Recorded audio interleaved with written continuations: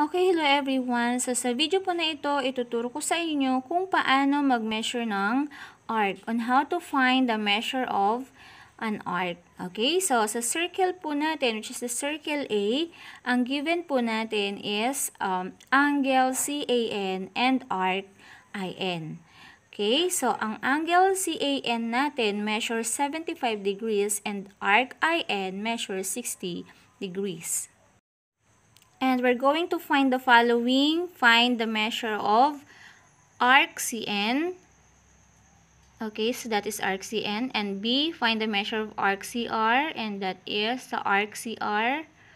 And letter C, find the measure of arc CI.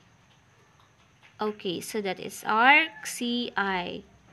And letter D, which is the major arc, find the measure of arc NCI. NCI and I. So that is major arc.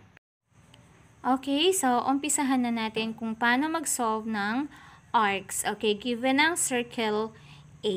Okay, so mayroon tayong problem which is, the given problem is, in a circle A, measures of angle CAN is 75 degrees.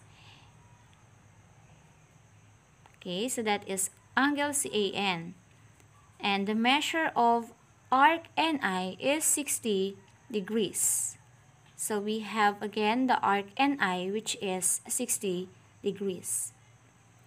And NR is a diameter. When we say NR is a diameter, so yun yung naghahati sa circle. So makakapag-form tayo ng semicircle. Okay, and we're going to find the measure of an arc CN, the measure of an arc CR, the measure of an arc CI, and the measure of an arc NCI.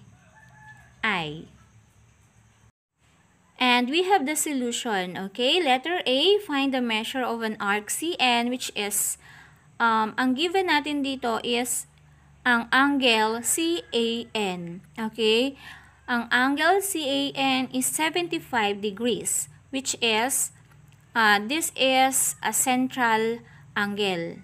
Okay? Kasi yung vertex niya is nasa gitna ng circle. And ang intercepted arc ng CAN is arc CN.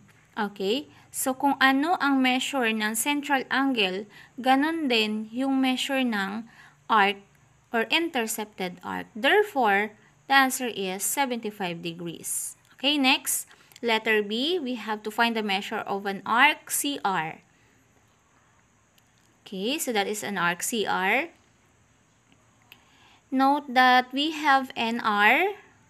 Okay, the line segment NR is a diameter. So, kung diameter ang line segment NR, makakapag-form tayo ng semicircle, which is semicircle measures 180 degrees. Okay? So, since um, this is 180 degrees, the arc NCR is 180 degrees. Therefore, imo-minus natin yung given ng angle CAN. Okay, or the arc CN. Therefore, we have now 180 degrees. Okay, yung NR, which is semicircle, minus the measure of arc CN, which is 75. Therefore, 180 degrees minus 75 degrees is 105 degrees. Again, the measure of an arc CR is 105 degrees. So 105 degrees plus 75 degrees equals 180 degrees. Okay, next let's have letter C to find the measure of an arc CI. Okay, so this is CI. Okay, so as you can see, okay, meron tayong dalawang angle. Okay, which is ang angle uh, CAN and angle NAI. Or, ang given arc natin is arc CN and arc NI or IN. Okay? So, ang the measure of an arc CN is 75 degrees and the measure of an arc IN is 60 degrees. Okay, so i-add lang natin yung dalawa, 75 degrees plus 60 degrees equals 135 degrees. Okay, therefore, the measure of an arc CI is 135 degrees.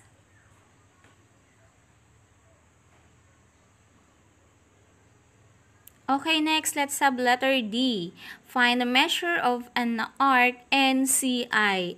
Arc NCI is the major arc. NC, then I. Okay, so this is major arc. Okay, the measures is greater than 180 degrees. Okay, so the solution is a whole circle is 360 degrees. Okay, so kung ang buong circle ay 360 degrees at ang given natin is um, arc NI which is 60 degrees, okay, so we're going to subtract 60 degrees from 360 degrees sa kabuuan ng circle. Okay?